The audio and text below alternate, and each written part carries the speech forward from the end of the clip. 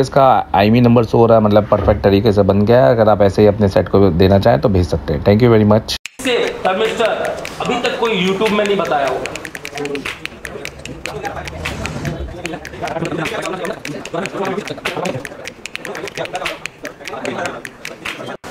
क्या नाम है आपका? संतोष। अभी आप क्या करने वाले हैं?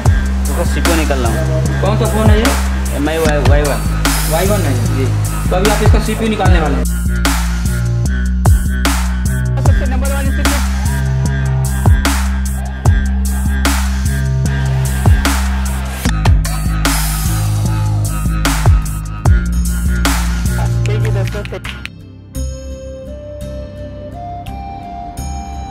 हाँ माई यूट्यूब फैमिली मेरा नाम देवरत्न अग्रवाल एशिया टेलीकॉम की तरफ़ से देखिए, बहुत सारे फ़ोन जो हैं, ये सब एम बनने के लिए हैं। यहाँ पे एक फ़ोन हो रहा है recovery mode Realme C two ज़्यादातर रियलमी के फ़ोनों में एक फो फॉल्ट जो है, वो आता है कि फ़ोन डायरेक्टली रिकवरी मोड पे कनेक्ट होता है, जबकि उसका जो वॉल्यूम ऑफ़ वॉल्यूम की होती है, वो भी बिल्कुल सही होती है और हार्डवेयर में किसी और पार्ट में अदर इशू नहीं होता।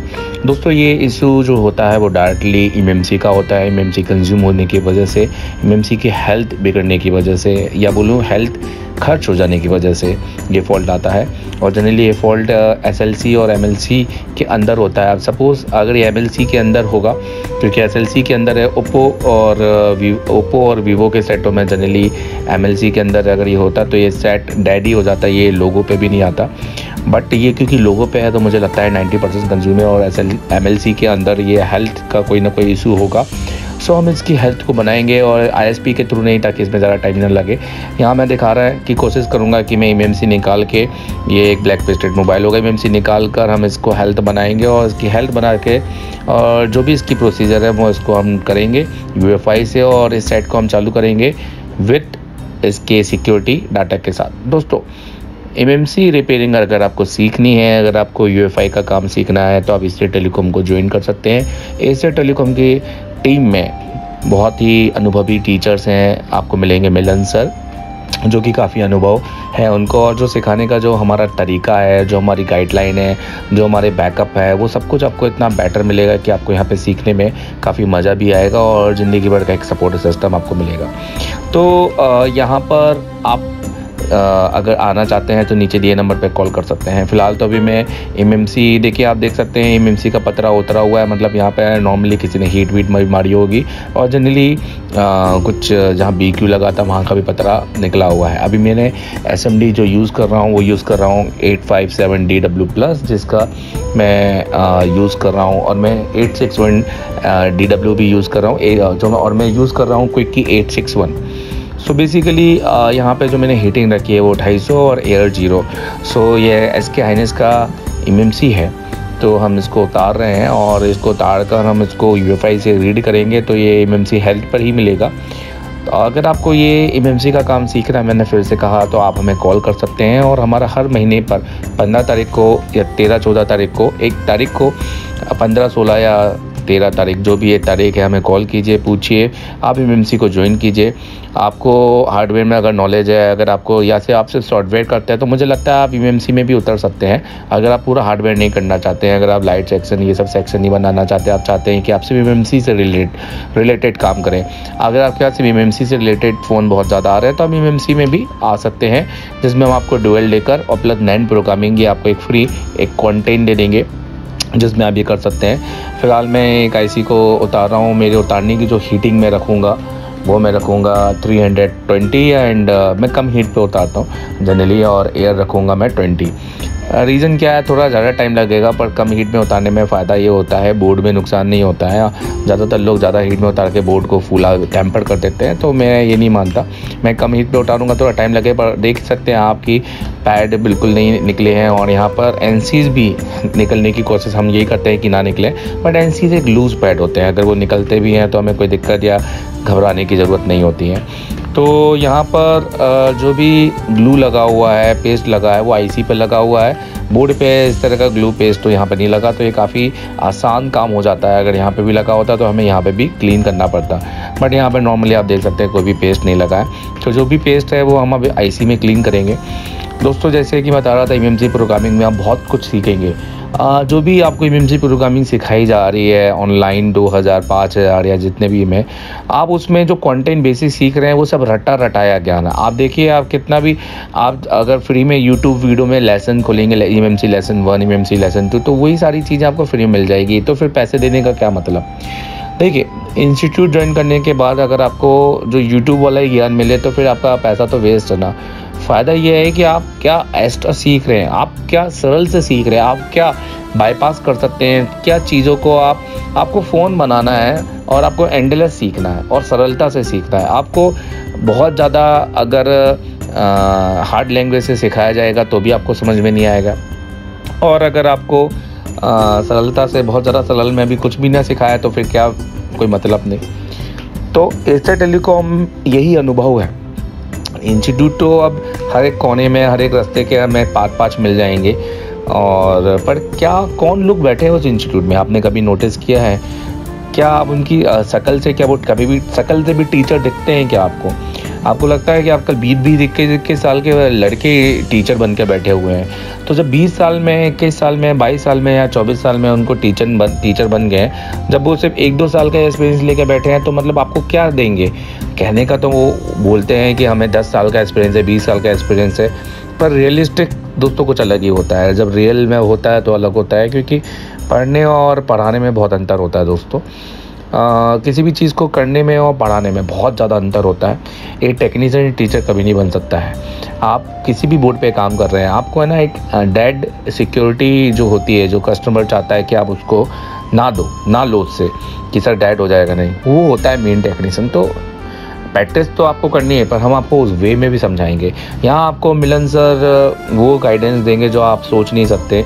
उनका समझाने का टेक्निक और उनके, वो स्टूडेंट के हाथों से प्रैक्टिकल करवाएँगे। मतलब जो भी आपको लगता है कि, सर, आप करेंगे कि हम करेंगे? यहाँ आप करेंगे, दोस्त। और यहाँ पर आप अपने आई फ़ोन से बोर्ड से आईसी निकालेंगे, उसको रिबॉल करेंगे, फिर यूएफआई में कनेक्ट करेंगे। आपके यूएफआई में आप जो परचेज़ करके लाएँगे या जो यहाँ से परचेज़ कर लेंगे, या आप हमारे यूएफआई में कनेक्ट करना चाहें, आप बाद में यूएफआई लेना चाहें, और उसके बाद आप उसको फिर अपने फ़ोन में उसके प्रोग्रामिंग करेंगे, वापस लगाएँगे और फ़ोन को चालू करेंगे। ये प्रैक्टिकल हम आपको यहाँ एसर टेलीकॉम में करवाएँगे, जो मिलन सर के गाइडेंस में होगा। सो एसर टेलीकॉम को ज्वाइन करो और इस वीडियो को देखिए सब्सक्राइब कीजिए। फ़िलहाल तो यहाँ पर हमने एमएमसी को क्लीन कर लिया है। आप जैसे ही देख सकते हैं। अब हम एम को रिबॉल करेंगे। और दोस्तों reballing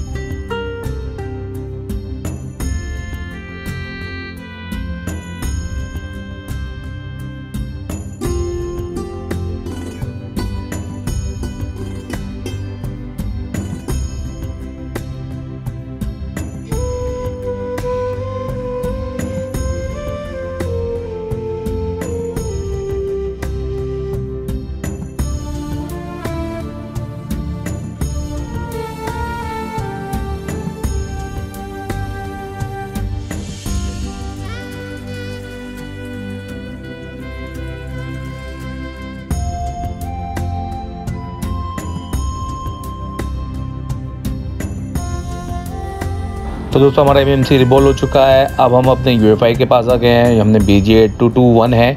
So V J two two one को हमने एडेप्टर में डाल दिया है। UFI से कनेक्ट कर दिया है। अब हम अपना UFI हमने ऑलरेडी सेटअप ओपन करके रखा हुआ है।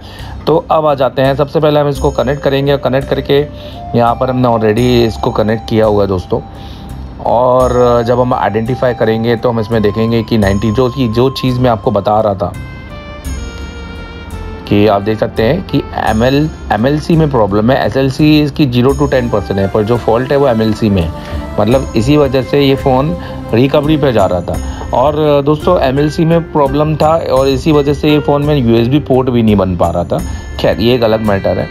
तो यही सारी चीज़ें आप सरलता से आप गाइडेंस लेंगे यहाँ one twenty eight M B का इसका डंप लिया है। और मैं आपको बताऊँ कि यहाँ पे आप डंप लेने की भी ज़रूरत नहीं थी। बिना डंप के भी हम यहाँ पे काम कर लेते हैं या डंप में भी इतना डंप लेने की ज़रूरत नहीं है। सिर्फ़ चार से आठ एमबी का भी डंप तो ये सारी चीज़ें ना आपको क्लास में समझाएँगे। बट यहाँ पे देख लीजिए, फिर भी मैंने एक वन ट्वेंटी एट का डंप लिया है। और डंप लेने के बाद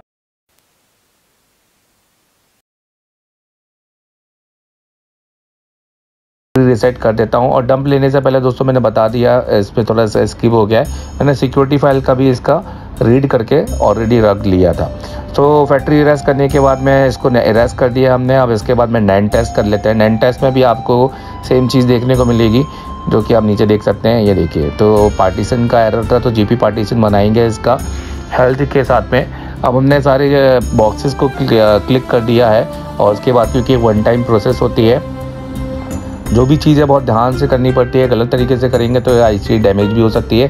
अब यहाँ पे हमारा सक्सेसफुल हो चुका है, हमारा जो हेल्थ है एम एल सी आप बोल सकते हैं ज़ीरो परसेंट वापस आ गया है। अब उसके बाद, अब हमें इसमें हम डम डालेंगे। मेन हमें टेबल क्रिएट करना है ताकि हम इस पर फ्लैशिंग कर सकें। मीडिया टेक फ़ोन है और अगर हम डम और उसके साथ में क्योंकि ओप्पो फ़ोन है तो इसमें एक ओप्पो कस्टम की फ़ाइल चाहिए होती है, जिसके बिना ये फ़ोन होम नहीं हो सकता है। तो क्योंकि हमने डम निकाल ही लिया था सो हम डम यहाँ डाल के उसको फ्लैश करते हैं। फ्लैश मतलब उसको राइट करते हैं। तो ये सारी चीज़ें होपफुली आपको समझ में आए और नहीं आ रही हैं तो नहीं आएगी क्योंकि आपने कभी सीखी नहीं है। सही तरीके से माने। और दोस्तों, ये सच बताओ ना, ये जितना भी देखोगे, कभी भेजे में नहीं घुसेगा। जब तक ये खुद नहीं करोगे प्रैक्टिकल हम ये बिलीव करते हैं। आप सोचो, आप बोलोगे सर प्रैक्टिकल करवाओगे, नहीं करवाओगे। हम तो बिलीव करते हैं कि आप करोगे नहीं तो आपको समझ में नहीं आएगा। हम तो हर स्टूडेंट से बोलते हैं कि अपना एक लाइव मोबाइल लेकर आओ, उसका एमएमसी निकालो। नहीं है तो एक लाइव मोबाइल से निकाल लो, उसका प्रोग्रामिंग करो, लगाओ वापस और फिर से चालू करो। खैर, जब आप एसर टेलीकॉम आएँगे तो आपको खुद पता चल जाएगा सारी चीज़ें। तो यहाँ पर अब हम बैकअप फाइलों को, जो हमने सिक्योरिटी फ़ाइल हमने ली थी, वो सारी फाइलों को हम सिक्योरिटी फ़ाइल को एक एक करके हम चढ़ा देते हैं यहाँ पर।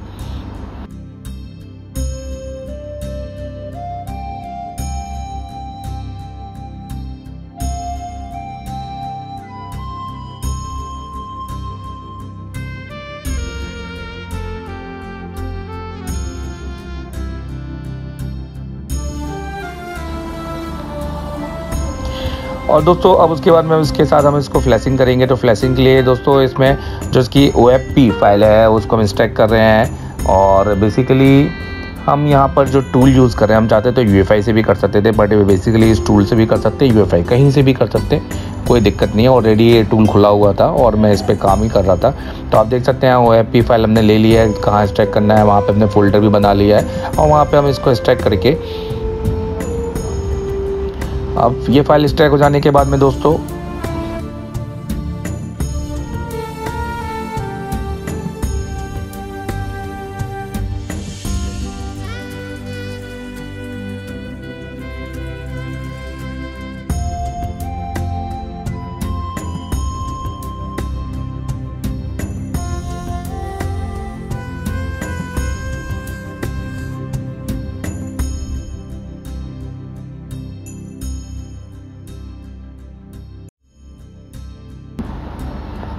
मेन अपनी फैक्ट्री इमेज पे जाएँगे और अपनी स्कैटर फ़ाइल को सेलेक्ट कर लेंगे और यहाँ से हम इस फ़ाइल को फ्लैश कर देंगे।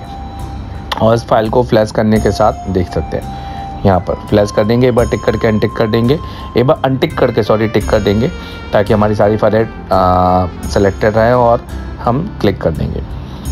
तो ये जो टेबल है, ये जो आपने देखेंगे यूज़र पार्ट में जो टेबल होती है, वो टेबल बनने बहुत ज़रूरी होती है मीडिया टेक में। और वो टेबल बनाने के लिए आप डम्प यूज़ करते हैं। बाकी हम आपको डम वो टेबल बनाने का लिए अगर आपका डंप भी नहीं है तो भी हम आपको टेबल कैसे बनाते हैं वो भी सिखाएँगे। ये सब हवा में बातें नहीं है दोस्तों, और ना ही हम ये कभी यूट्यूब में डालेंगे। आप मिलन सर से आके सीखिए यहाँ पर क्लास ज्वाइन कीजिए। बैकअप में और क्या आपको मिलेगा कि यहाँ से जाने के बाद में हम फ़ोन उठाते हैं कि नहीं उठाते, क्या नहीं है, वो सब कुछ आपको खुद पता चल जाएगा जब आप यहाँ आएँगे। अब देखिए फ्लैशिंग का प्रोसीजर बहुत लंबा है तो मैं इसको स्किप कर देता हूँ। यहाँ पे हमारा फ्लैशिंग डन हो चुका है। तो अब यहाँ पे टोटली बता दे मैं शुरू से समझा देता हूँ मैंने क्या किया। सबसे पहले मैंने आइडेंटिफाई किया तो मुझे एरर मिला, फिर मैंने यहाँ पर 128 ट्वेंटी एट का यहाँ से बैकअप ले लिया। फिर बैकअप लेने के बाद में फिर मैंने उसके पार्टीशन का जो मेरे सिक्योरिटी फ़ाइल थी, उसका बैकअप ले लिया। जैसे कि यहाँ पे देखा आपने, जो मेरी मेन मेन फ़ाइल थी, उसका बैकअप ले लिया, जो कि मीडिया टेक और ओप्पो की फाइलें होती हैं। और उसके साथ फिर मैंने यहाँ पर फैक्ट्री रेस करके रेस करके नैन टेस्ट किया। और उसके बाद अपने जी पी अपने पार्टीशंस बनाए वापस री पार्टीशंस किए। बेसिकली मेरा जो यहाँ पर नाइन्टी परसेंट कंज्यूम था, वो हमने क्लीन क्लियर क्लियर किया 90 परसेंट कंज्यूम करके, क्योंकि एम में हमारा फॉल्ट था। उसके बाद क्लीन करने के बाद में मैंने डंप वापस चढ़ाया डंप चढ़ा कर फिर मैंने अपना टेबल बनाया टेबल बना के सिक्योरिटी फ़ाइल दी, उसके बाद में फिर O P O F P file को एक्सट्रैक्ट करके उसको फ्लैश फ़ाइल देकर अब यहाँ से फ्लैश कर लिया है। अब इस आईसी को निकाल कर अब हम बोर्ड में लगाएँगे और सक्सेसफुली इस इसको चालू करेंगे, क्योंकि हमने यहाँ पे डंप भी दिया था। जिससे हमारा टेबल क्रिएट हो गया और टेबल से हमारा सिक्योरिटी फ़ाइल चढ़ गया। और इसमें एक ओप्पो कस्टम की फ़ाइल होती है, जिसके बिना ये तो फ़ोन चालू होगा ही नहीं। वीवो में होता है तो प्रो इन्फो की फ़ाइल होती और या तो बोर्ड इन्फो की फ़ाइल होती है। उसके अलावा अगर मैं बात करूँ, हमने इसके साथ इसका फिर फ्लैश फ़ाइल में भी जो वर्ज़न है, वो डाउनग्रेड लिया हुआ है। वीडियो में आपको कुछ ना कुछ तो मिलना चाहिए तो मैं बता देता हूँ, क्योंकि ये नाइन्टी परसेंट कंज्यूम है और ये हेल्थ जो रिपेयर है और ये जो फॉल्ट है, ये बाद में भी आ सकता है, फिर कभी वो यूज़र के डिपेंड करने पर, अगर यूज़र अपडेट करता है तो वो भी हो सकता है ये फ़ोन लोगों पे स्टक हो जाए। तो ये परमानेंट सोल्यूशन नहीं होता है दोस्तों। और यहाँ पर परमानेंट सोल्यूशन तो इसकी एम चेंज करके ही होगा बट एम भी इसकी बहुत ईजिली चेंज हो जाती है बट फिर भी ये आईसी काफ़ी टाइम तक चल जाएगी। अब यहाँ पर अगर हम बात करें यहाँ पर हम इस सेट को हमने इसका 90 परसेंट कंज्यूम तो बना दिया है और इसकी सिक्योरिटी फ़ाइल के साथ में आई है और इसका सारा बेसबैंड के साथ। और अगर आपके पास अगर कोई ऐसा सेट आता है और आप नहीं बना पाते हैं और आपको आ, ये बनाना है आपके पास कोई सोर्सेज नहीं है तो आप इसी टेलीकॉम को इसको भेज सकते हैं। हम आपको बहुत कम अच्छे दाम में इसको बना के दे देंगे। जितना अगर हमारा आईसी का कोई खर्चा लगता है तो उतना आईसी का खर्चा कुरियर का खर्चा मिलाकर बहुत ज़्यादा नहीं। थोड़ा बहुत आ, ये मान के चलिए हमारा टाइम यूज़ होता है तो वो टाइम का बाकी थोड़ा इतना ज़्यादा नहीं मांगेंगे जितना हो सकता है आपका बाजू वाला मांगे। बट अगर ये मान के चलिए कि हमारे पास भेज रहे हैं तो एटलीस्ट आपका सेट बनकर आएगा। और दोस्तों कभी कभी होता है किसी को जो हमें सेट भेजते हैं, हम उनको बोलते हैं कि वो बोर्ड क्या होता है ना, बहुत हीट मार के भेजते हैं। बूट को या तो बैंड करके भेजते हैं। वो चाहते हैं कि हम जादूगरी करके उसी बोर्ड को चालू कर दें, जो कि पॉसिबल नहीं है। तो हम उनसे बोलते हैं, आप बोर्ड स्वैपिंग के लिए भेजें। क्योंकि जनरली ज़्यादातर ऐसे बोर्ड बहुत से बोर्ड होते हैं, हमारे पास बोर्ड स्वैपिंग के लिए होते नहीं हैं।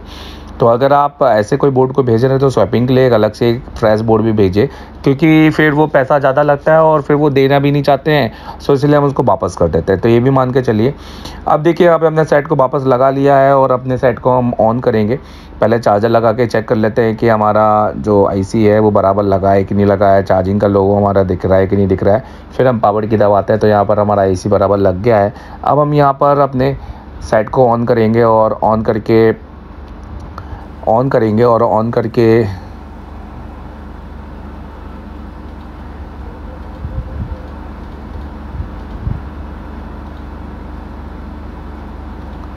अब हम अपने सेट को बराबर ऑन करेंगे।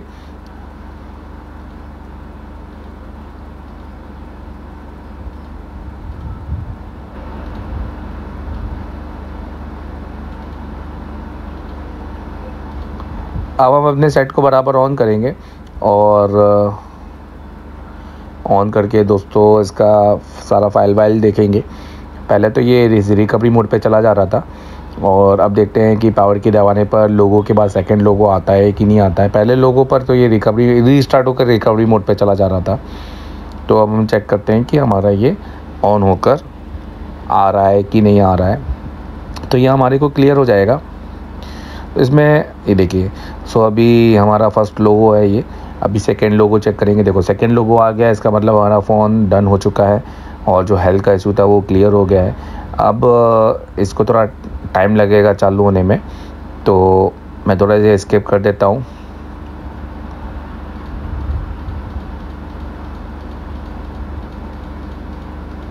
सो so, देखिए दोस्तों हमारा फ़ोन चालू हो गया है और हम इसकी जो प्रोसेस होती है शुरू की वो प्रोसेस को जल्दी जल्दी करके आपको आखिरी में ये दिखाते हैं कि इसका आई नंबर है कि नहीं है सिक्योरिटी फ़ाइल है कि नहीं क्योंकि जब तक ये फ़ाइल नहीं होगी तो कस्टमर को ये फ़ोन देना भी बेकार है, ये फ़ोन एक डब्बा की जैसे है।